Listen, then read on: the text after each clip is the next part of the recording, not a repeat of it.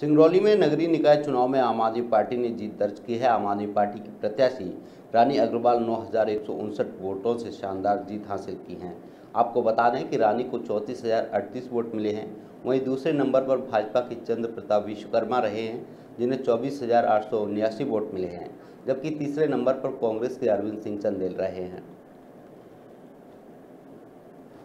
सिंगरौली की पूरी जनता को धन्यवाद देते हैं।